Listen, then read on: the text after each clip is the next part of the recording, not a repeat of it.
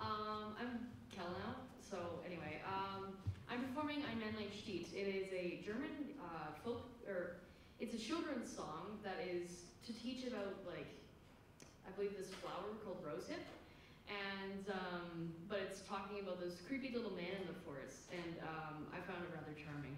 So I decided to sing it. So it's from a book. Yeah, it's from actually Hansel and Gretel.